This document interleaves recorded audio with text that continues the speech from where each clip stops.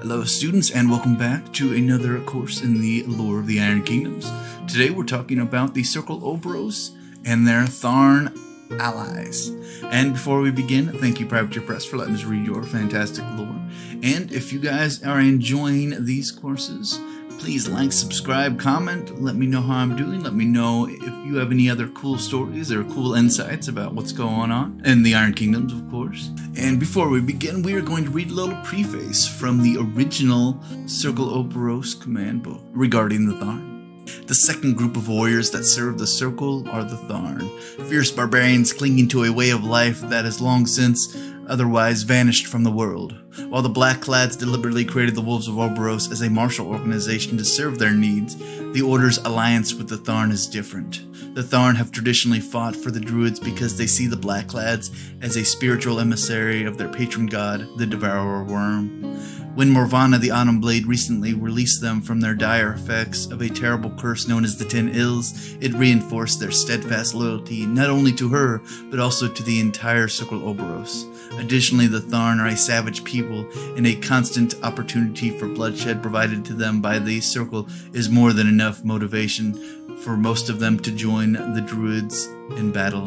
The Tharn are supernaturally gifted warriors and can enhance their fearsome skills at arms by channeling the destructive power of the Devourer Wurm. All Tharn can effect a terrifying transformation that instills their bodies with strength, speed, and mind of a savage predator. Only loosely organized, these warriors generally operate at a tribal level in battle, where their strength and speeds adds a terrific might to any circle fighting force they support. Alrighty, and with that out of the way, uh, I always thought Tharn were just really ugly humans, but apparently they are not. They are almost uh, Lycan, or almost kind of like warp wolves, but not quite because they're natural warp wolves, which is a little different. But let's read about everything they have to offer and see the disturbing truths arise in these pages. Uh, first, we are going to begin with the Tharn Ravagers, Circle Unit. They yet revel in the old ways, feasting on the hearts of the fallen, quenching their thirst in warm blood.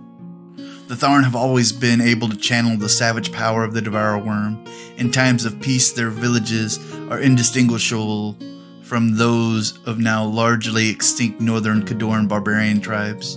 In times of war, however, their population began to boil with bestial metamorphosis.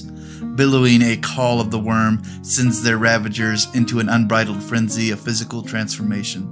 Muscle mass expands and thickens, skin hardens, and teeth elongate into terrible fangs. Their senses become as keen as the beast they revere, and they fall into a state of insatiable hunger. Legends of inhuman deprivation among the ravagers are true.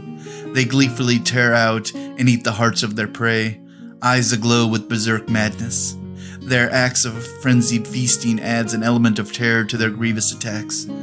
The three centuries ago, the Tharn numbered among the largest barbarian tribes tens of thousands called the Northern Thornwood home. Most were slaughtered as part of a political gambit by the Khadoran queen against Cygnar while the rest suffered under the withering curse of the decimating their numbers. Decades ago, the leaders of the Circle Orboros secretly unraveled this curse and restored the Tharn's numbers, and they have once again grown strong. This renaissance, led by Morvana the Autumn Blade, has engendered the absolute loyalty of the Tharn, who are now eager to repay their debt. The Druids have encouraged the Ravagers to come forth, led by their Beast Lord, to provide much needed strength and ferocity to the battles being waged by the Circle where areas few of their allies are eager to engage in such brutal carnage. Tharn Ravagers enthusiastically charge from the forest gloom to hack apart those with their long handled axes.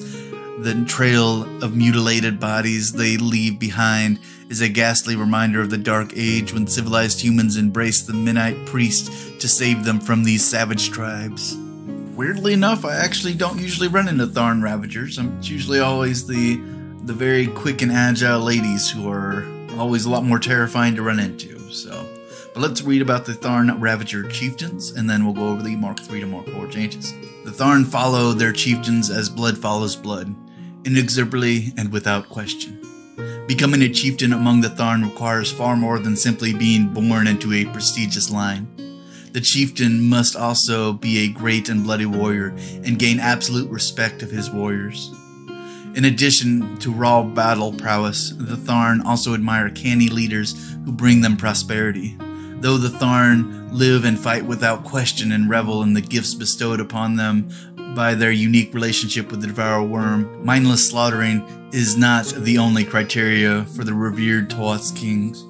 Great wisdom is also essential, for without the guiding hand of their chieftains, the Tharn would never be able to gather in large numbers or form such formidable fighting arm for the Circle Orboros.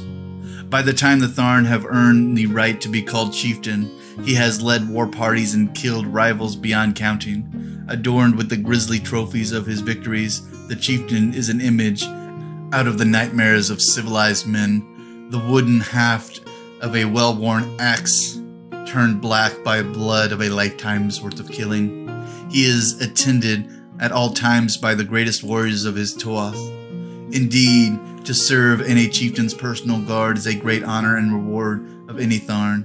Those who fight by his side are guaranteed endless opportunities to slake their bloodthirsty urges upon the hearts of many enemies. Each chieftain knows he leads only so long as he maintains the respect of his tribe.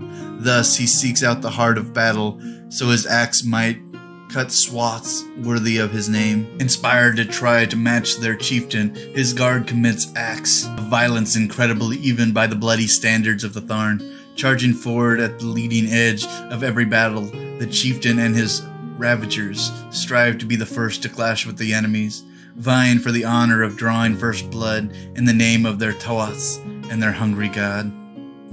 My goodness, these guys sound terrifying, and I imagine whoever wrote these have seen them firsthand, and that sounds terrifying as well. But looks like it was written by Linus Weselbaum. I'm not even sure who that is. Well, good luck to him, and good luck to all his endeavors, because uh, it sounds like a very short-lived life if you're among these guys and you're not one of them. But let's read over their Mark 3 and Mark 4 changes. Alright, it appears these guys got some uh, quite a bit of changes.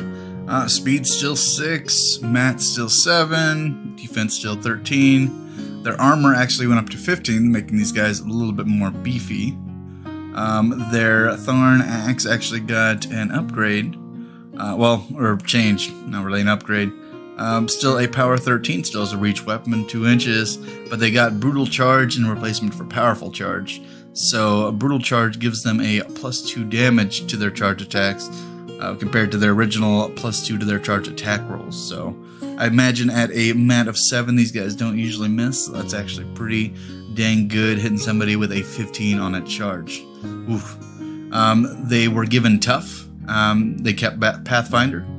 Uh, their Heart Eater ability has been replaced with Body Snatcher Heart Eater ability, which basically they can have up to three bodies on them, and they can use them to they can use those bodies to make additional attacks or boost attack and damage rolls, or and or damage rolls. Um, they were also given rapid healing, so that means after they were attacked, they automatically healed D3 of whatever that attack did. And at guys that have a health of 8, that's actually pretty devastating to people trying to kill these guys off. Um, they maintain their Tree Walker ability as well, so they still get a plus 2 defense against melee attacks while in the forest, and they ignore forest terrain when drawing line of sight, making these guys even more terrifying for medium base models that have Pathfinders. So, yeah, terrifying. But let's see what happens to the Chieftain for their Mark 3 to Mark 4 changes. Alrighty, appears the stat line hasn't really changed. Still a speed 6, mat 8. Um, defense 13, armor 15 now instead of the 14 it was before. Uh, the abilities have switched up, so Body Snatcher is now turned to Body or Heart Eater now turned to Body Snatcher Heart Eater, allowing him to collect up to three bodies and allowing him to make an additional attack or a boost attack or damage rolls using said bodies that he gains.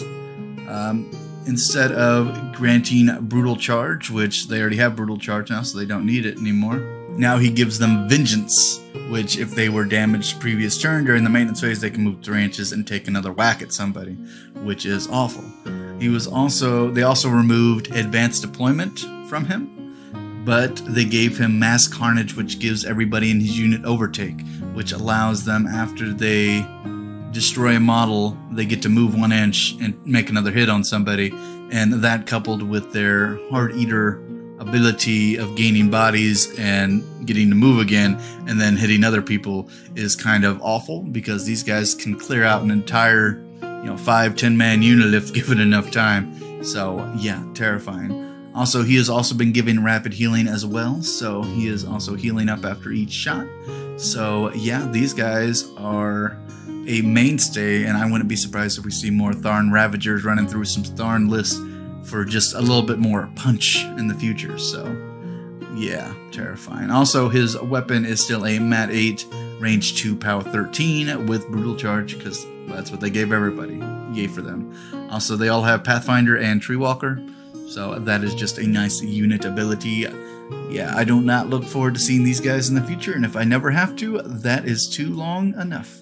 Alright, let's move on. Alrighty, we're going to talk about the Tharn Ravager Shaman. This guy used to be a weapon attachment, but in Mark IV, he is now a solo for ease of use, I imagine. And he probably gives a lot more interesting abilities now than he did before, but let's read his lore first. The Devourer's Wrath splits the sky. Lorcash, the unrepented Tharn Ravager Shaman. Many often incorrectly accuse the druids of Circle Orboros of worshipping the Devourer Wurm, when it is the Tharn who actually embody every wild story and horrific rumor associated with that ancient god.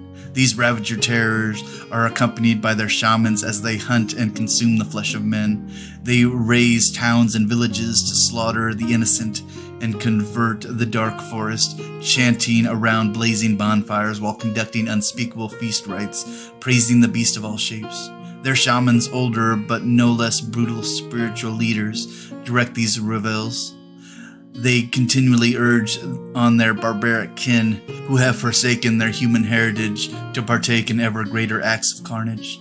Each shaman is a dread priest of the devourer Wurm, able to call down the primal energies of scoring lightning.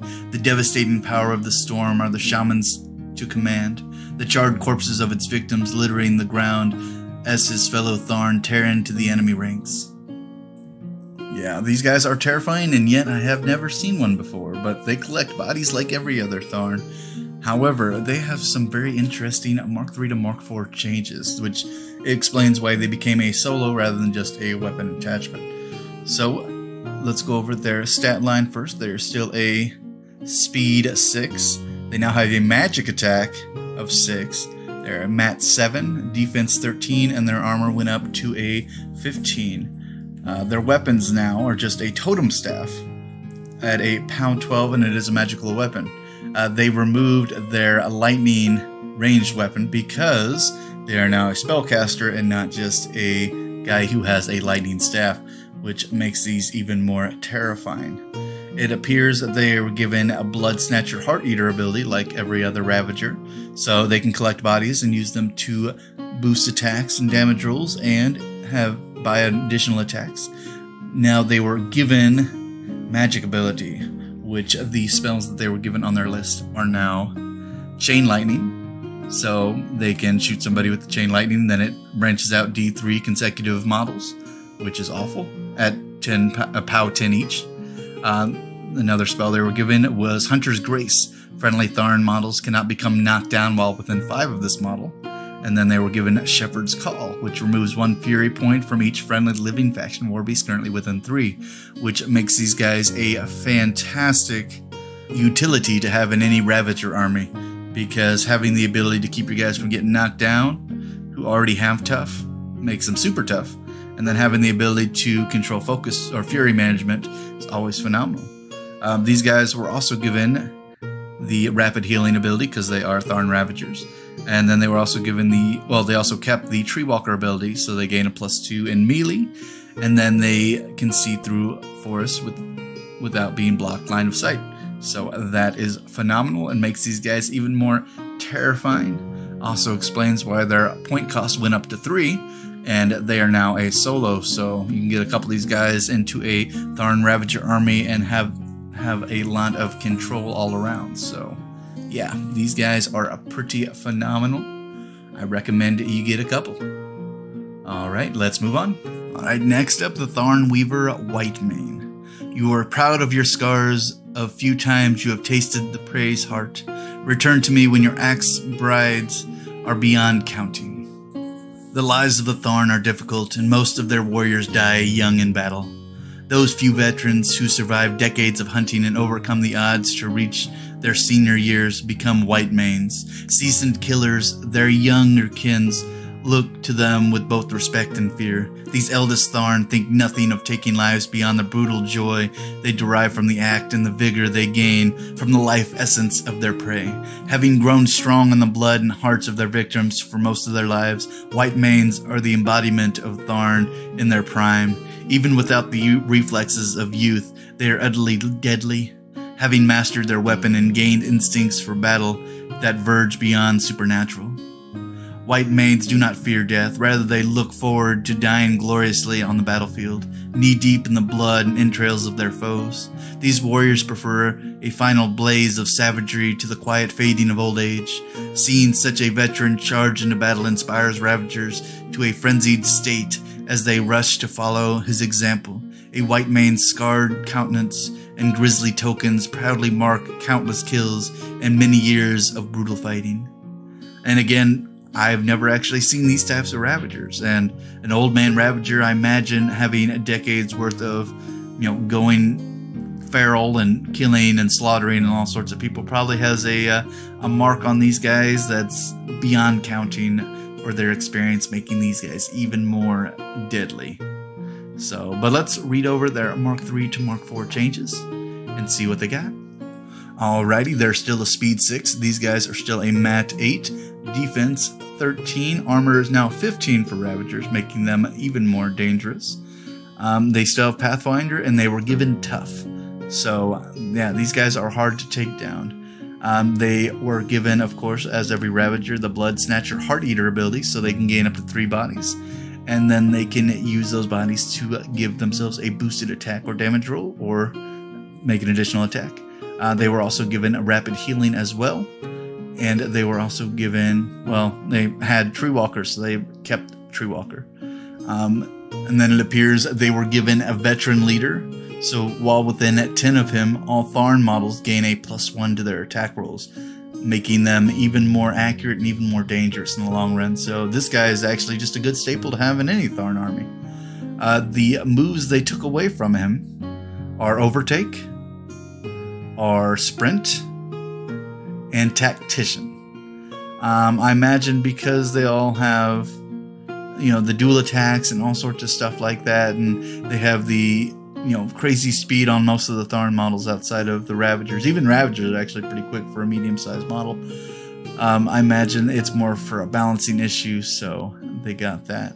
Um, also, his Tharnax switched out Powerful Charge for Brutal Charge, as every other Tharn model or Tharn Ravager seemed to have to have and he still has a reach on that weapon, so he's still swinging at a POW 15 from a charge and a 13 regular, so that makes these guys even more terrifying and almost broken. Not quite, not quite. They got nerfed down a little bit, but eh, that happens. And with all of their all of their abilities to join together, Tharn are still a huge, terrifying force on the battlefield. So, yeah, look out for this guy. And if you see white hair on an old Tharn, make sure you stay, give him plenty of space because he's a lot more dangerous than all the young young bloods out there. So, alrighty, let's move on. Tharn Bloodtrackers. Among the Tharn, it is not only the men who heed the call of the Devourer, their women are equally bloodthirsty and savage.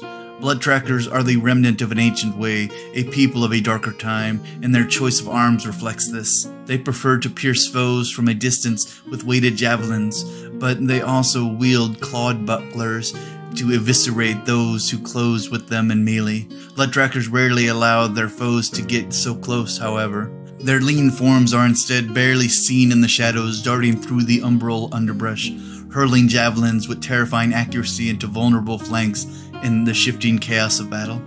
Those who have faced Bloodtrackers fear their phonetic savagery with which these women conduct their attacks.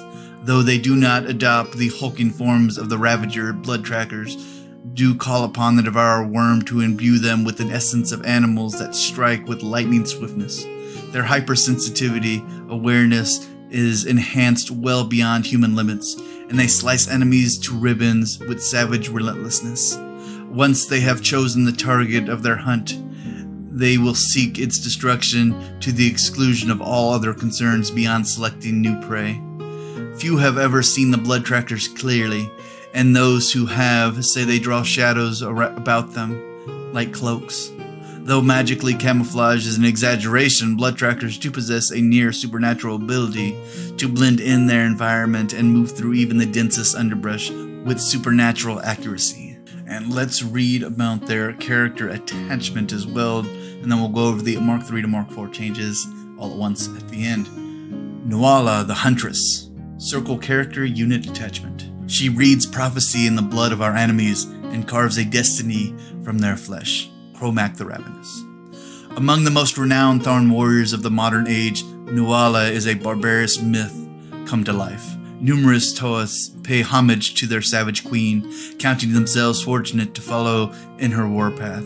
Though she takes vicious pleasure in leading the bloody slaughter of her enemies. She has noble aims. Nuala would see her people restored to the grand age of the Molgur when the cities of mankind trembled at the might of the devourer Wurm's chosen. By careful alliances and bold strikes against her nearest enemies, Nuala's tribe has prospered and increased, while others have withered or been left decimated by the wars of the Druids. Nuala is as pleased to prey upon remote villages and communities as she is to battle the armies that oppose the Tharn and their circle allies. While the finest of the blood trackers at her side, she begins hunting her chosen prey. She and her followers descend upon their victims in a shower of piercing javelins and lethal blows. The screams of the dying inflaming their desires for murder. Each death is committed to the beast of all shapes, who looks with favor upon the feast Nuala offers in its name and grants its protection to the tribes who bow to her. Alright, and let's go over the Mark 3 to Mark 4 changes for these guys. Alrighty, we're going to start with the Tharn Blood Trackers Mark 3 to Mark 4 changes. It appears not, not much has changed because why change a good thing? We are looking at a same speed 7, making these guys incredibly fast, like elves. Um, their Mat and Rat is still a 6, defense still a, a 14, armor still 11. They are hit, hard to hit, but they are easy to kill once you do. They are still given advanced deployment. They are still given Pathfinder. They were given dual attack like a lot of other characters were in Mark IV, which is great since they do have a ranged weapon and a melee weapon as well. Uh, they're still given their prey ability, so they still choose a target that they're trying to hunt, and they get a plus two to their attack and damage rolls against them.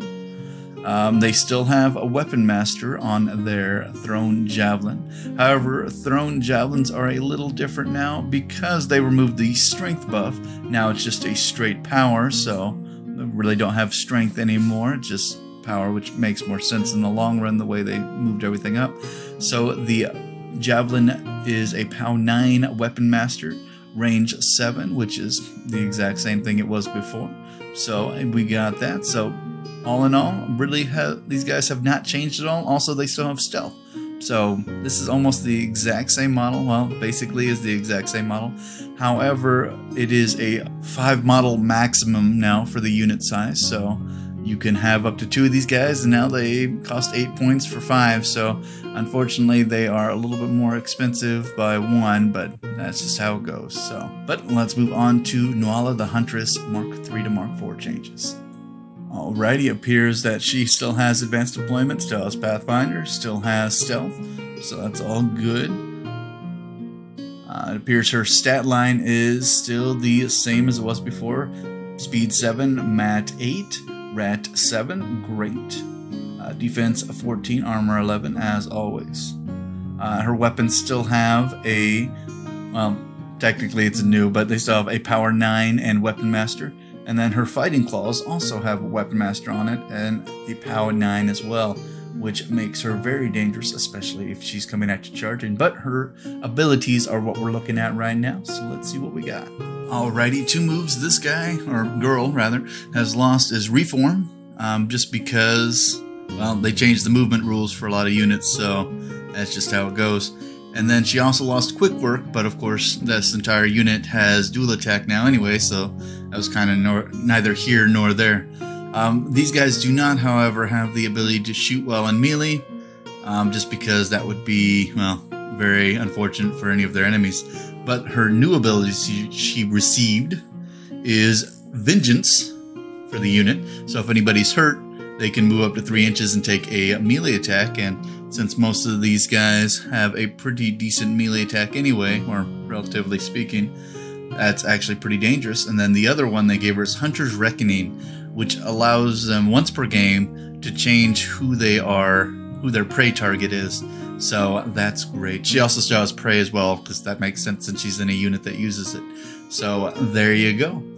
Some nice updates uh, due to the Mark IV rules.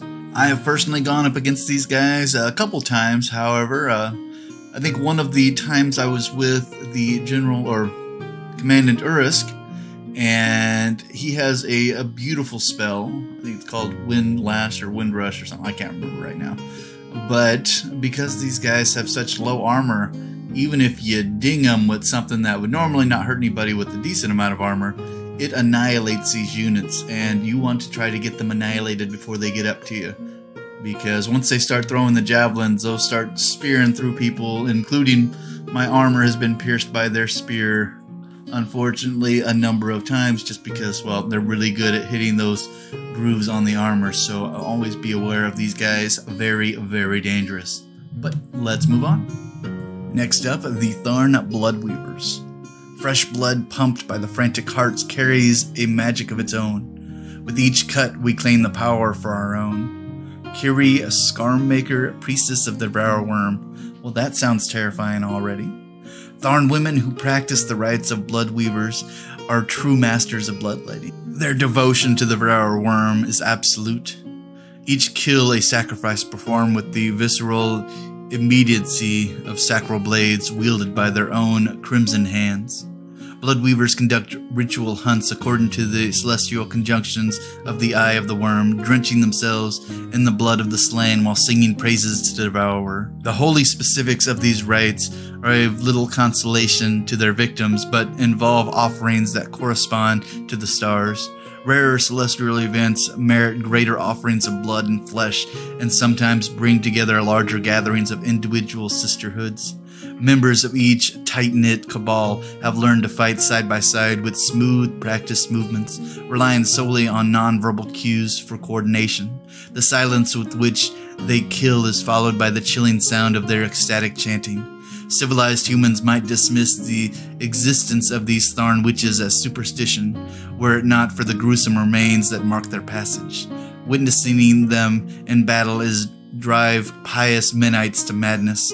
Bloodweavers close in for the kill, cloaked in animated shadow that obscures their movements. As the blades taste flesh, primal powers cause the victims to erupt with sickening force, unleashing fragments of bone and gouts of blood in a torrent of boiling gore. And I've actually gone up against these guys before, and they're not kidding. The moment these blades hit somebody is never a never something you ever want to see if you can avoid it.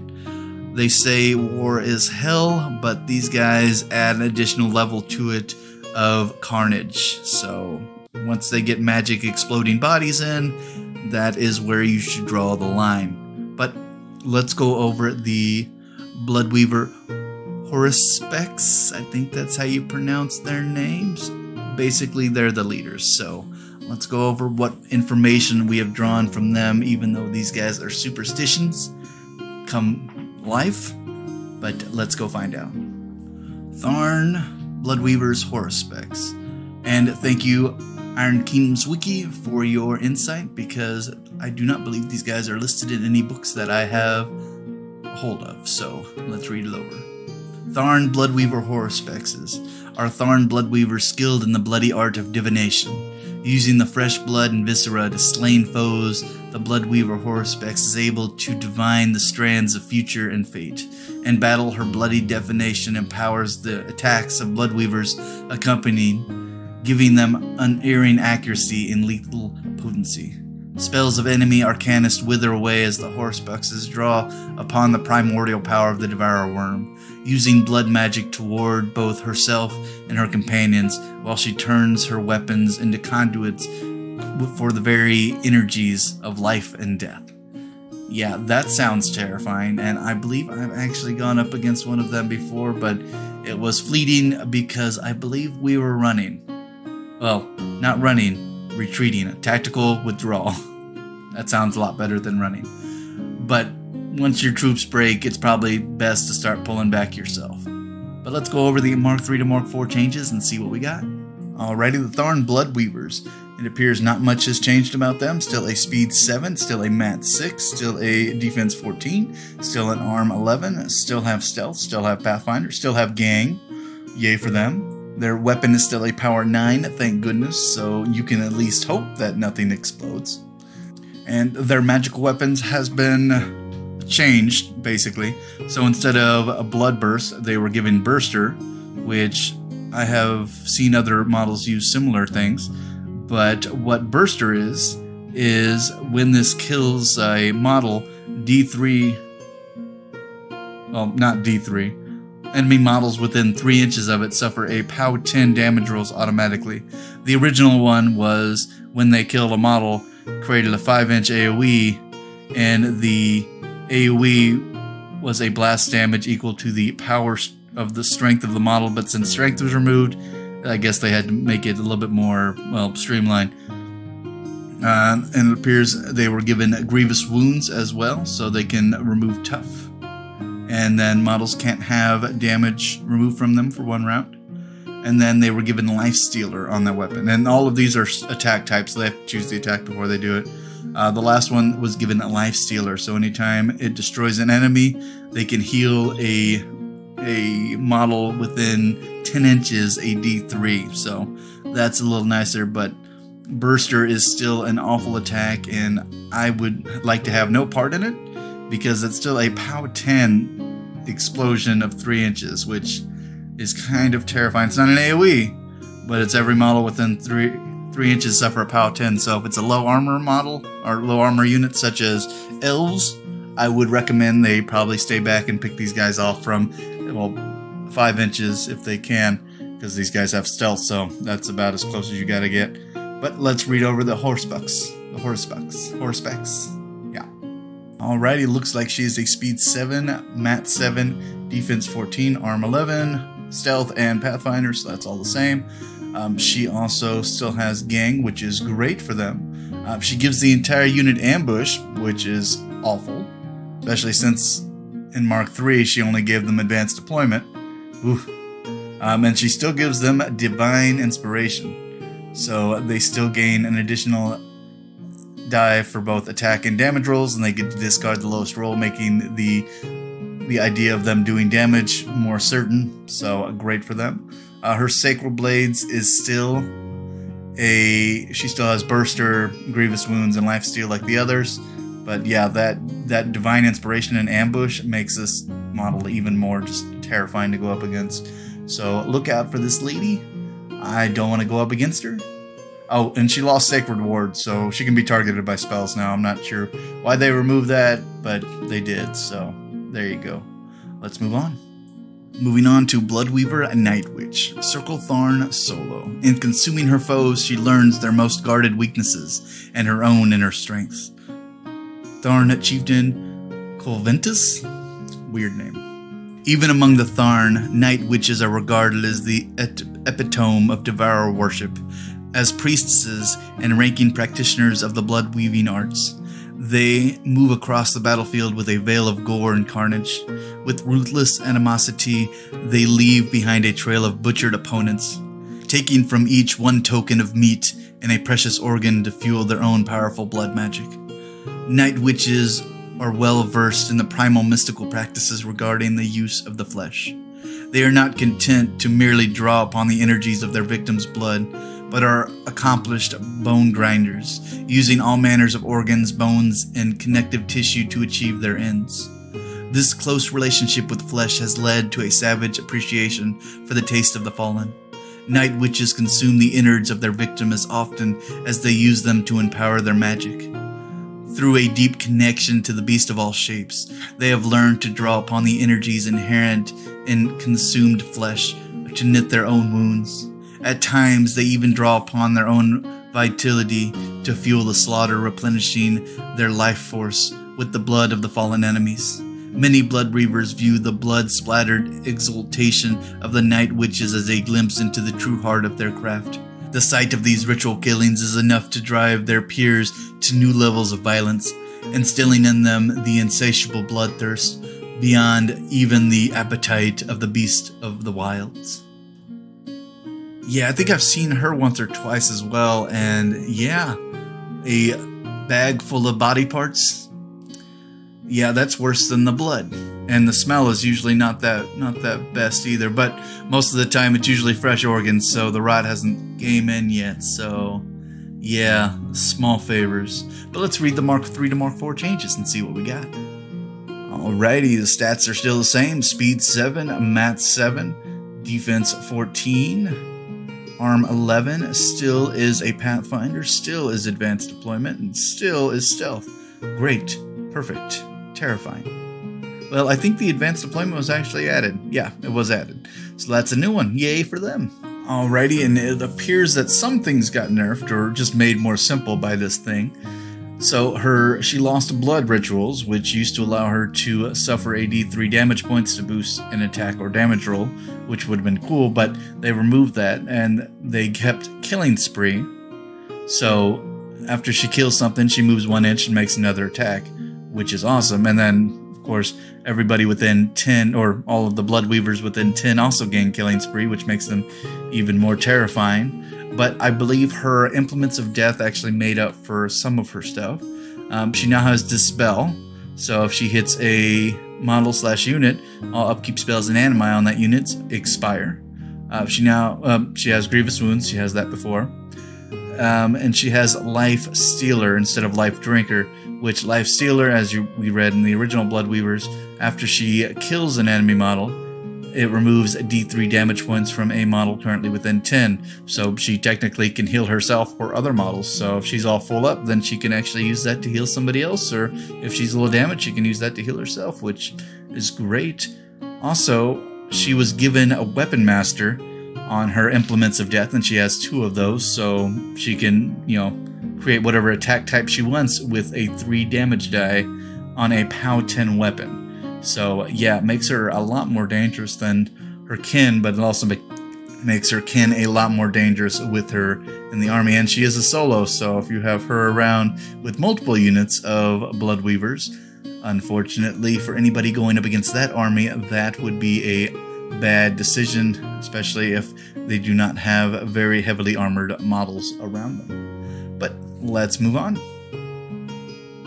Tharn Wolf Rider Circle Light Cavalry Unit. By the time I pulled the trigger, she was past me. Sarge took a javelin in the throat, and she circled for another throw. I ran, Morrow helped me. I ran screaming. Corporal Ian Rowe at 95th Trencher Company, Cygnar.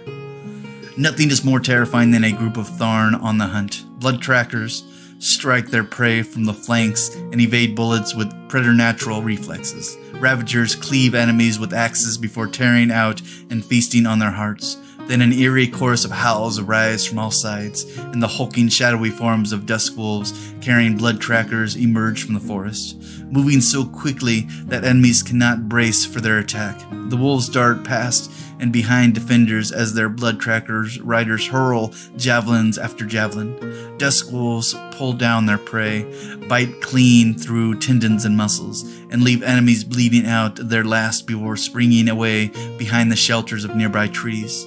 Soon nothing remains on the field but meat for the crows. No mere hunters of scent and blood, blood trackers perform fearsome rites in the name of the devourer. Their connection to the Wurm predators spirit allows them to form strong bonds with their chosen dusk wolves, and together they became a singular deadly hunting group. Death follows wherever they stalk, whether from silently hurled javelins or the crushing bite of the horse-sized wolf tearing out the enemy's throat. Yeah, that sounds great, especially something that's faster than a Tharn moving at a speed 9, which is terrifying. Alrighty, let's see the Tharn Wolf Riders Mark 3 to Mark 4 changes. Alrighty, their stats, their stability speed 9. Uh, their mat actually went up to a 7. Um, their rat is still a 6. Their defense is a 15. Their armor is 14. They still have Pathfinder. Uh, it appears they were given dual attack, which is probably going to take out their assault they had Mark 3. Um, they have breakthrough, which means they can run past people's attacks attack range and not uh, not lose their attack due to the Mark IV changes. So uh, basically, it's a parry, but yeah, it's just the new one. Um, there looks like they removed assault as per stuff. Looks like they removed hunter, unfortunately. Uh, looks like they removed prey, unfortunately. Um, but they were given annoyance, so models within one inch suffer a minus one to the attack. They were given reposition, so it makes them faster after a charge. So after they after they charge or move, they move an additional three inches. So if they have a successful charge or they move, they can move three inches afterwards. They have a they were given a move called unpredictable movement. When placing the models during their normal movement, after determining the advancing model's movement, place the remaining troopers of the squad within four inches instead of two, which actually allows these guys to spread out really well, which is great for a, a, defense 15, armor 14, so they can't be hit by blast damage. And if they are, you're basically just picking one off at a time. They were, however, given unyielding, so that is great for them. So they gain a plus two armed melee attack, so it gets them up to an arm 16. And it appears they were given a weapon master on, well, I think they had Weapon Master on their thrown javelin, but they gave it to them on their shielded blade or bladed shield as well, giving them an additional attack as well. So that actually makes them way better in that stuff. They removed luck off their weapon, unfortunately, so they can't re-roll a miss attack rolls, but eh, they uh, they gave them a lot of very different rules. So playing these guys is very different from the original. But that's how it goes. New mark, new setup and their mount no longer has an attack, which is unfortunate, especially due to the lore.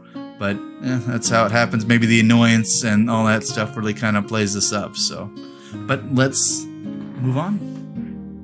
And thank you again to Iron Kingdoms Wiki for providing information about these guys, since, uh, well, they're not really in very many of the archives that I have available. But let's begin. The Wolf Rider Champions are scarred and battered veteran wolf riders that embody speed and agility and ruthlessness for which their kind is known. Survivors of many battles, they are clad with trinkets and armor fashioned from the bones of their victims, and their savage visage elicit fear from their prey and admiration from those who ride beside them in battle. Champions subdue only the most willful and physically imposing dusk wolves as mounts Mutual respect serves as the foundation and of the relationship, and the bond formed between champion and the wolf is maintained until one of one or the other dies. Unity of the hunting pack is vital for the wolf riders, as each of its members depend on the other for their continued survival. A Tharn king or queen who has united several tribes must similarly forge strong bonds with their respective hunting pack leaders. Thus, champions may serve as the right hand of the tribe's chieftain, as well as the acting as liaison between the packs, serving the same king or queen. Each champion is entrusted to oversee a particular territory and in times of need can rally the tribe's riders. Thus, these veteran warriors often take over leadership of a larger hunt and require coordinate, coordination between the multiple packs of wolf riders.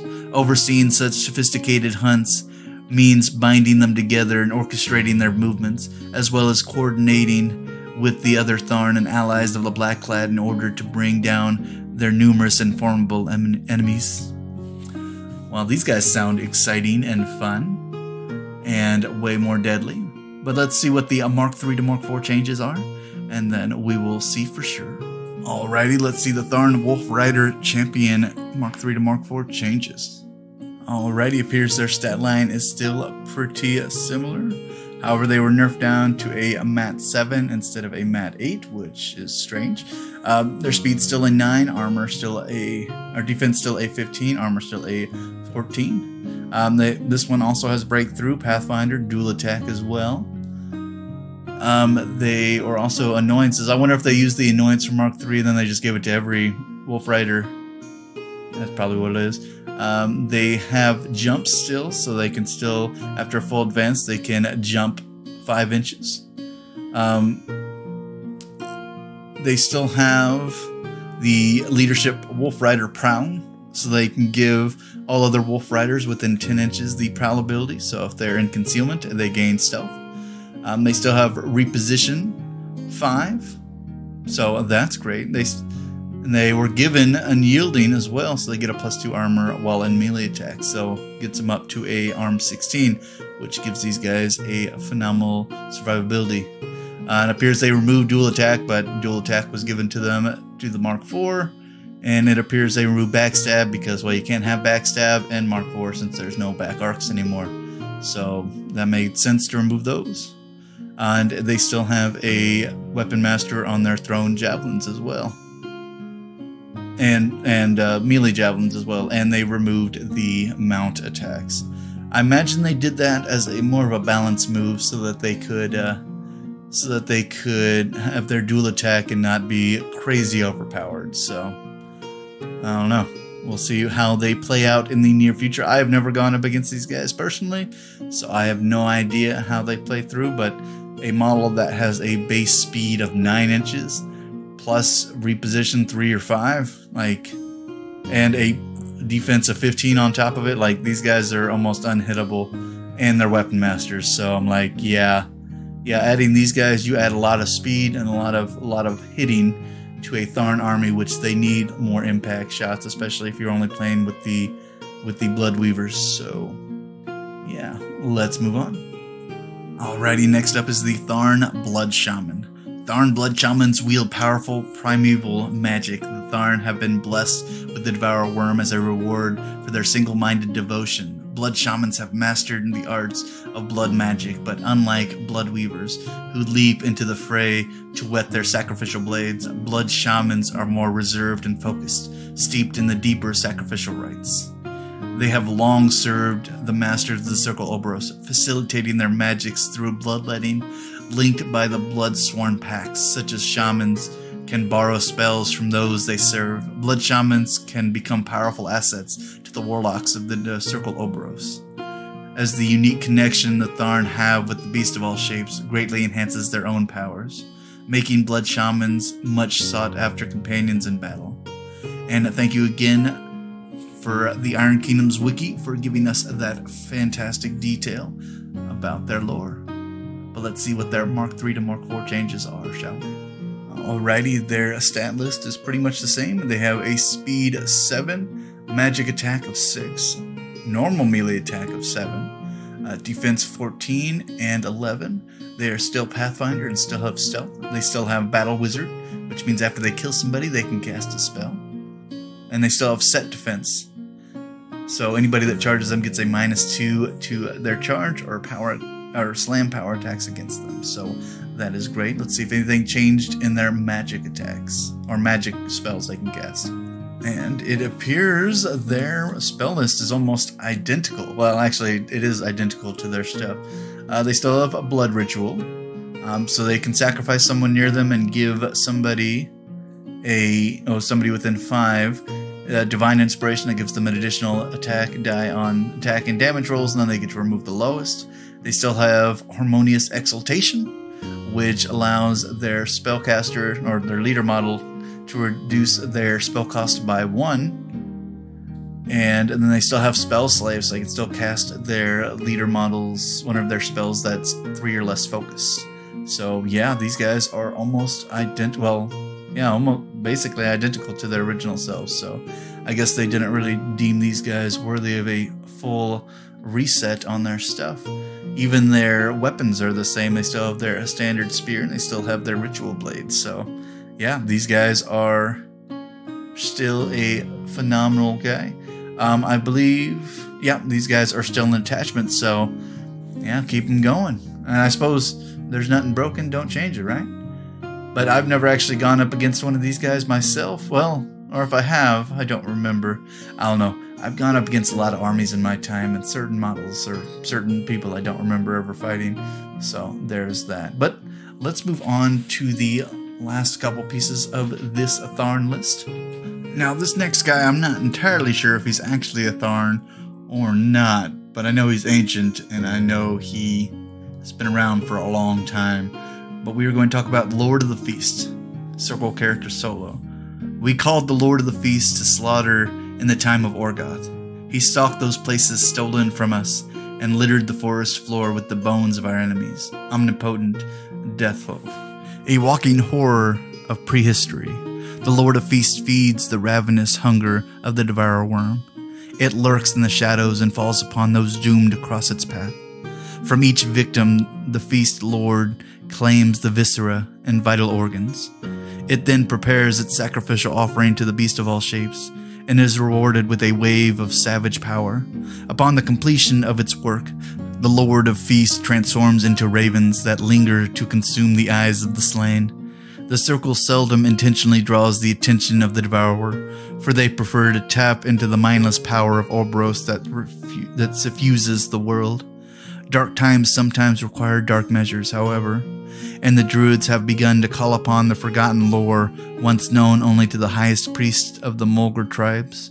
With these black rites, they have once again summoned the avatar of Unsleeping One and unleashed it upon the living. The Lord of Feast only companion is the raven that ranges ahead of its master, leading its lord to fresh victims emerging like the shadows of death.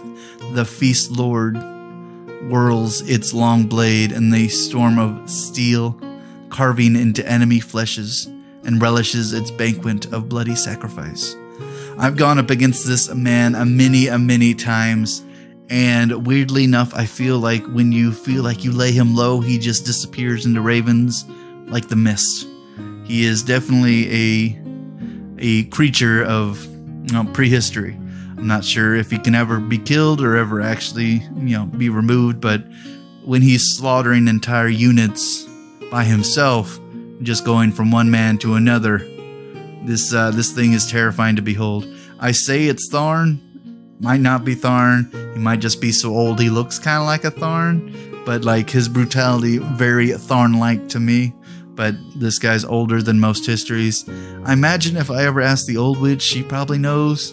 And she probably was around when he was created because well she's been around forever.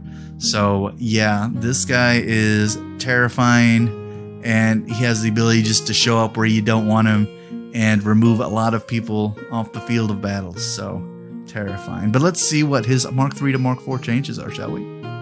Alrighty its stats are actually a little bit better than its original form in mark 3 its base speed is now 6 its mat is 8 its rad is 7, defense 12, and armor dropped down to a 16, which actually makes more sense because he's pretty skinny. Um, it appears he still has his stealth. He still has Pathfinder. Uh, he was given dual attack because a lot of models were given dual attack in Mark IV. Uh, he was given advanced deployment, which is great for him and pretty normal for Tharn models. He's not actually a Tharn model, he's whatever he is. Um, he still has, well, they changed up Heart Eater, so it's you know Body Snatcher Heart Eater, so he can gain model, he can gain corpse tokens, up to three of them, and then he can use them to make an additional attacks, uh, boost attack or damage rolls, and then he also has a Death Feast on that, making the Body Snatcher ability a little bit more nice because he can actually heal himself using bodies as well. Uh, his Raven is still has shifter, which allows them to shoot, uh, well, shoot a model but not do any damage to it. He just shows up next to what model he shot, so he can move up to eight inches and just you know close in on a unit and drop behind all sorts of people. Um, his Wormblade um, was given a couple abilities like Blood Reaper. Uh, Blood Reaper used to be an ability he he had in his ability stuff, but now it's a weapon ability, um, which basically allows him to hit everybody in his line of sight. And since line of sight now is 360, he drops into the center of a unit and he swings around like a little top. So yeah, terrifying. And at a POW 13, it makes it even more terrifying. And then he was also given grievous wounds. So models cannot models lose tough and can't have damage removed from them. And also he was given a death power as well. So every time he has bodies on him, he gains a plus one arm and a plus one to his melee attack damage rolls for each corpse token on him. So he can get way more powerful. Um, max, if he has three bodies on him, he gets up to a he gets up to an arm 19 and a melee attack of 16. So he's hitting basically like a man of war with the same armor count, but way more accurate. So, yeah, he is a terrifying man to behold. He's actually a little bit better in Mark IV than he was Mark III. Um, he's not as good as he was Mark 1, but with some weird shenanigans, you can get him moving up to 24 inches across the board, which is terrifying. But Mark IV, he sounds like a pretty reasonable guy to get on the battlefield if he's on your side. If he's on my side, well, I don't know why he'd be on my side because Circle Orboros really doesn't like working with Warcasters. So that is that. But let's go over the last two. And we even have a man whose lore comes in from the ravings of a hermit of Hingehold. So let's read and find out what we got. Alrighty, we have some information on Brighid and Caul. The Tharn twins Brighid and Caul have built their reputation upon the piles of corpses beyond counting. Born to the first generation of Tharn after the curse of the Ten Ills was lifted and saved their race from extinction, these twins have come to embody a new hope. A skilled hunter, Brighid, has mastered the use of the heavy Tharn bow. When hunting larger game, she uses the bow to cripple and maim an enemy before allowing her brutish brother Caul to finish the prey with his heavy axe. They balance the skills of a hunter with the brutality and savagery of the greatest predatory beast. And looking at these, well, siblings technically, you can tell that these guys kind of embody what the Tharn are. You gain both the Tharn Ravager with the skills of the Tharn Blood Trackers, but with a bow. So let's see what their Mark 3 to Mark 4 changes are. Again, I've never seen these guys in battle. I've only seen these guys in the pages of the archives, so let's check them out. And with any character unit, as these guys are, um, their their skills actually differ depending on who they are. But let's start with a Brighid. Brighid has a speed of 7, mat of 7, rad of 7, defense of 16, and armor of 12. So that's the exact same. Um, they both have gang because they're in a unit, so that means that they both have gang. Uh, they both have, well, Brighid has stealth. They both have Pathfinder. Uh, Brighid has dual attack and advanced deployment, which means both of them have advanced deployment. And they both still have Pathfinder as well. And the things that Brighid gives the unit is gang, well, is prey. And that is the same as her Mark III version as well. So she gives the whole unit price so they get to choose their target, and they get a plus two to their attack and damage rolls, plus their gang, so they can actually get up to a plus four on each of their attack and damage rolls, which is terrifying. They removed quick work from Brighid because she has dual attack now, which is basically the quick work, just a little easier to play with. And both Brighid's weapons, her longbow at a range 12, POW 10 is path is uh, weapon master, and so is her hunting knife at a POW 9. So she is a very good at what she does. And you know, granting her entire unit prey is actually a pretty phenomenal, especially since these guys have such nice stats. Let's move on to her brother Caul. Her brother Caul has tough, like every other Ravager of the bunch. He also has the Heart Eater ability. So, like every other Ravager, he gains a well, he can spend a body token to gain an additional attack or damage die onto his attack and damage rolls, or he can buy additional attacks, which makes him very Ravager like. Um, he still has Gang, of course, because she has Gang. Uh, he grants Tree Walker to the entire unit, which is what they did in Mark III. So I'm curious if these guys were actually the reason that the rest of the Ravagers updated. Could be it, or maybe they just wanted to keep all that going like that. Uh, his Rapid Healing, that was just on him last in Mark III, but now it's on every Ravager. So I'm curious if uh, curious if there's some sort of lore that ties that all in that we have not discovered yet. Mm, weird. Uh, he also still has Shield Guard. which allows him to, if somebody within three of him is directly hit by a non spray ranged attack, this model can take the hit instead. And if I'm not mistaken, in the new Mark IV, um, Shield Guard doesn't work on spells. I'm not sure if it ever worked on spells, but it's just non-spray range attacks. It does not specify if magic attacks as well. So because there are other other blocking things that include magic in the writing, I'm going to assume that Shield Guard does not block magic attacks. So that's fun. And his weapon is a Mat 7 POW 13 with Brutal Charge. And I'm making the assumption that, well, yeah, he's always had Brutal Charge, so that hasn't changed either. So these guys have not changed at all. I'm, I really am curious if the rest of the Tharn Ravagers just were being matched up to Caul's, so they had some additional ability and kind of leveled off something.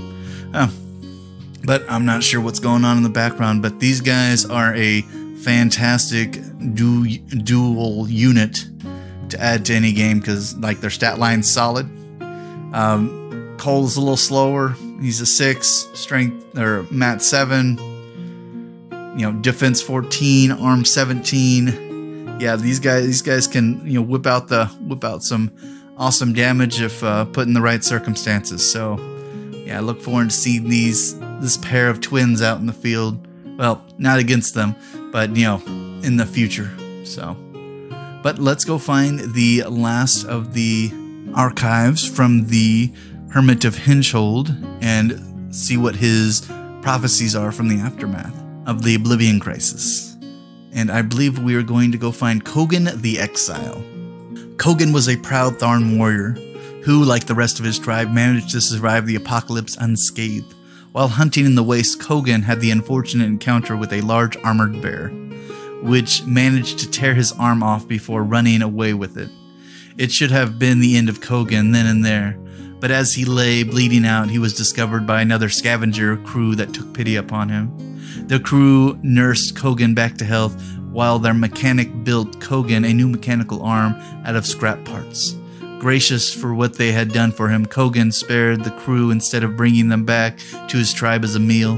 When Kogan returned, his tribe immediately spurned him, for the metallic monstrosity that replaced his natural arm. They claimed he had defiled their traditions and God, and they cast him out. Exiled, Kogan now wanders the waste as a lone survivor, but one who has his eyes opened to the world around him.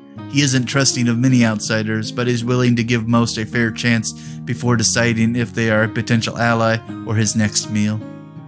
Well, that sounds like Kogan. It sounds like a Tharn, yeah and an armored bear. There's only two groups that I know that use armored bears, and I believe one are the Trollkin, and two is a dwarf who happens to have an armored bear that runs around with him. And that's just a weird relationship to begin with. You don't know which armored bear it is, because the aftermath of the apocalypse could be anything at that point. But let's go see his. I've never, I've never actually ran into Kogan as well, so I don't know how he is. But he is a minion, so he actually works for a couple different people. But let me see if I can find anything on a Mark 3 to Mark 4. Alrighty, his stat list is the same speed 6, mat 8, defense 13, armor 16, which is great. He still has Pathfinder, he still has Tough, as many Tharn Ravagers seem to do. He he was given the Body Snatcher Heart Eater ability, like every other Tharn Ravager that we've gone over multiple multiple times. Uh, he still has his Rapid Healing, like every other Tharn Ravager. Still has Tree Walker, like every other Tharn Ravager, and he was given Unyielding, like every other Tharn Ravager. I'm just surprised that they maintained all of these little stats on here: the Heart Eater, Rapid Healing, Tree Walker, and Unyielding. Well, the Unyielding is a little different for a Tharn Ravager, but all the the main three are what we're talking about. And then his axe is what uh, what derives him, changes him from his Tharn Ravager kin because his axe is actually pretty neat, and the amount of damage this thing pulls out, or the amount of things that it can do, just makes it any better. It's almost like being given a mechanical arm to a guy who already has crazy huge strength, makes them even more dangerous. But as most Tharn, he was given Brutal Charge, so he gets his uh, charge attacks up to a POW 13, but they mat 8, so he's actually really good at hitting it. But he was also given Smite, so he can slam a model D6 inches away. So, and then I believe they're also knocked down, but don't quote me on that. I can't remember. but it does appear that his power was nerfed because I believe his original Mark III incarnation was a 16. So I imagine they didn't want a medium base model to be thrown around an 18 charge attack, which makes sense for somebody as powerful and accurate at hitting people as Tharn is, who can also boost his own attacks. So yeah, he's still as dangerous as he ever could be. And he, the ability to be able to boost your own stuff is actually just something that every solo wishes they had, but most don't. So, but that appears that is it for the Tharn. That is everything we have on the Tharn and all their lore. Um, want to do another shout out. Thank you, Privateer Press, for letting us read your fantastic lore. And thank all of you for listening if you are here so far. And please like, subscribe, comment, let me know what you thought. Let me know if you have any suggestions, and I will try to get over to them as quickly as possible. And as always, please let your fellow friends and fellow gamers know about this podcast slash YouTube channel. It does help the channel grow. And as always, class dismissed.